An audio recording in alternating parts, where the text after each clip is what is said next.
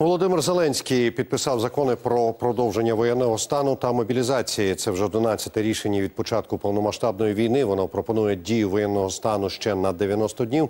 Ситуація на фронті тим часом залишається напруженою. Ворог накопичує сили, зокрема стягує додаткові резерви на харківському та сумському напрямках.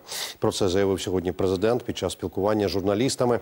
Зупинити ворога здатне швидке надходження західної зброї. Тоді українські військовики перехоплять ініціативу ініціативу, зазначив Володимир Зеленський. Загалом запеклі бої зараз тривають на дев'яти відтинках фронту: Авдіївському, Новопавлівському, Бахмутському, Куп'янському, Лиманському. Лише минулої доби там відбулося понад півтори сотні бойових зіткнень. Про оперативну ситуацію на Бахмутському напрямку розпитаємо, е, поговоримо далі. Розпитаємо е, Андрія Отчинаша, командира екіпажу БПЛА Кара Небесна з 4-ї бригади оперативного призначення Рубіж Нацгвардії України. Пане Андрію, вітаю вас! Слава Україні! Слава, доброго вечора, студія, доброго вечора, телеглядачі. Е, скажіть насамперед, яка ситуація зараз у вашому секторі? У нашому секторі ворог е, починає знову ж таки наступальні дії, тобто крайній там тиждень-два був якийсь певний перепочинок. Вони знову починають наступати і використовувати велику кількість техніки і особового складу.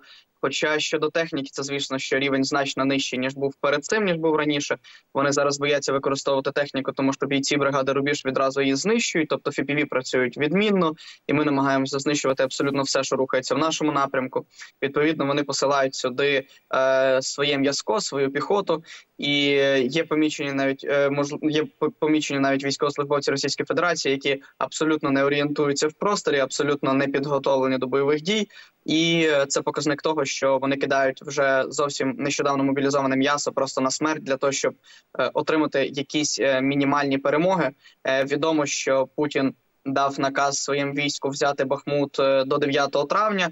Е, очевидно, до якого року 9 травня ми не знаємо, але я думаю, що це мало малось на увазі саме цей рік. В них нічого не вийшло, тому вони так масово посилають е, свій особовий склад на смерть, просто щоб здобути, хоча б якісь ем, невеличкі досягнення, яких в них немає. Тому ворог в часовому яру не пройшов ніде. Ворог не в самому місті. Часів яр повністю е, під контролем Сил оборони України. А пане Андрію, пресофіцер 26-ї артилерійської бригади Олег Калашніков днями розповів, що ворог змінив тактику на Бахмутському напрямку. Зокрема, він береже техніку і кидає в бій мобілізованих, яких ну які навіть не проходять навчання. Я запитаю про таке: От цінність БПЛА, як відомо, полягає в тому, що відносно недорогий дрон має знищити коштовну бойову машину. А що таке БПЛА проти піхоти? Чи вдається за такої оновленої тактики росіян завдавати ефективних ударів дронами по живій силі противника? Е, звісно, це ж ніяк не змінює нашої тактики в плані використання безпілотних авіаційних комплексів, адже е, види знищення піхоти методами БПЛА є достатньо широкими. Можна займатися скидами різних зразків, можна займатися коптерами камікадзе. Ніхто не сказав, що коптери камікадзе не можуть прилітати по піхоті, особливо коли йде група піхоти. Тобто, якщо ми знищуємо техніку, то групу піхоти знищуємо декількома е, коптерами FPV. скидами. Взагалі знищується величезна кількість особового складу Російської Федерації, і е, вони дуже цього бояться і дуже. Е, не люблять виходити на позиції через те, що розуміють, що як тільки ми помітимо хоча б одного військовослужбовця Російської Федерації, відразу за ним вилітає полювання, і ми прагнемо його знищити, його вбити, е, тому що е, ми розуміємо, що це наш ворог. Тому для нас ніякої зміни в принципі немає. Якщо буде техніка, ми будемо знищувати техніку. Якщо буде особовий склад, просто м'язком ми будемо просто робити шашлики. Але але чи Підвищує це витрати БПЛА. Чи вистачає взагалі техніки боєприпасів нашим бійцям? Що стосується безпілотників, чи надходять нові дрони? Це важливо. І які потреби має ваш підрозділ? Е, якщо порівняти з ситуацією, яка була ще буквально півроку назад, то наразі в бригади Рубіж е, іде значне покращення щодо fpv коптерів тобто ми, як ходимо по підрозділам, спілкуємося з побратимами, які займаються fpv коптерами то в принципі вони достатньо потужно забезпечені. Плюс потрібно подякувати кожному громадянину, кожному українцю, який долучається до зборів коштів, який долучається і є волонтером, тому що це надзвичайно потужно. Тобто, незважаючи на те, що держава значно покращила рівень е, комплектування безпілотних авіаційних комплексів, точно в напрямку FPV, то волонтери додають просто надзвичайно потужний плюс. Тобто, наприклад, якщо в нас є від держави 10 коптерів, і від е, волонтерів 5 коптерів, умовно, так просто е, загальні ціни, то наші бійці бригади Рубіж мають вже 15 коптерів і можуть знищити замість 10 одиниць техніки 15 одиниць техніки, що є значно кращим результатом.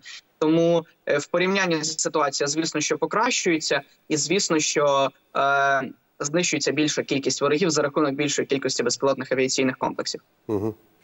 А, пане Андрію, також надходять повідомлення, і пан Калашніков, якого я вже згадував, теж повідомляв про це, що окупанти, мовляв, окопуються і створюють вогневий рубіж. Наскільки це ускладнює ситуацію для наших бійців? На мою думку, росіяни є, на жаль, одним із найбільш розвинутіших армій в плані інженерних розбудов. Тому дійсно вони створюють оборонні позиції. Вони створюють, вони копають, вони копають надзвичайно потужно. І, от, е, власне, е, наш досвід мене як командира безпілотних авіаційних комплексів бригади Рубіж. Була ситуація, коли ми помітили, як е, військовослужбовці Російської Федерації почали підготовлювати свої позиції. Залетіли туди, знищили двох військовослужбовців. Через 15 хвилин туди приходять нові купати. Ми знищуємо ще двох військовослужбовців, і це може відбуватися просто постійно. Вони абсолютно не бережуть свій особовий склад. Відповідно, використовують їх е, в ну просто на максимум, витягуючи з них все, особливо життя. І навіть якщо вони втрачають десяток чоловік для того, щоб підготувати якусь е, оборонну позицію, то вони втрачають їх без ніяких проблем. Питання тільки в тому, що в них є достатньо потужний ресурс для того, щоб забезпечувати ті інженерні споруди, забезпечувати себе тими оборонними спорудами. На жаль, це так. Вони окопуються і підготовлюють свої оборонні позиції. Угу. Традиційно запитаю, хто на вашу думку зараз на цей момент лідирує в війні безпілотників? Чи гідно показують себе українські розробки? Ну і цікаво насправді, що використовує ворог. Наскільки це масово він використовує, як раніше? Е, Щодо ем, хто кращий, дуже важко вирішувати через те, що, от, наприклад, сьогодні вночі е, наші безпілотні авіаційні комплекси вдарили на 1400 кілометрів від кордону з Україною. Це новий рекорд, і ми знищили черговий НПЗ Російської Федерації. Це дуже прекрасний показник того, що наші безпілотні авіаційні комплекси розвиваються. Знову ж таки, що говорити на локальному рівні, ворог значно розвинув свої війська в FPV, і тепер ворожі фіпівішки залітають на 15-20 кілометрів в наші тили на якихось нових діапазонах, е, і на жаль, можуть е, робити якусь певну шкоду силам оборони України, нашим бійцям бригади Рубіж тощо. Е, Тому це дуже таке локальне питання, яке потрібно розглядати в контексті позицій, в контексті лінії фронту, на якій тримає та чи інша бригада. Але знову ж таки в радіоелектронній боротьбі очевидно, що ворог зараз знаходиться на голову вище. Тим не менше, потрібно розуміти, що вони розвивають цей напрямок 40 років. І е, ще з радянського союзу це рахувалася одна з найбільш розвинутих країн е, в радіоелектронній боротьбі. І ми, як країна, яка починаємо власний розвиток ВПК, на жаль, достатньо е, пізно, не спочатку незалежності України, а останніх декілька років. Що ми наразі крокуємо трішки далі від них. Тим не менше, е, виконуємо ці можливі, ем, як то сказати, інноваційні речі максимально швидко з того, що ми можемо зробити. Пане Андрію, я вам дуже дякую за розмову. Ще більше я дякую вам і вашим побратимам за вашу роботу, за вашу службу. Це Андрій Очинаш, командир екіпажу БПЛА Кара Небесна 4-ї бригади оперативного призначення Рубіж. Бажаю вам здоров'я. На все добре. Дякую.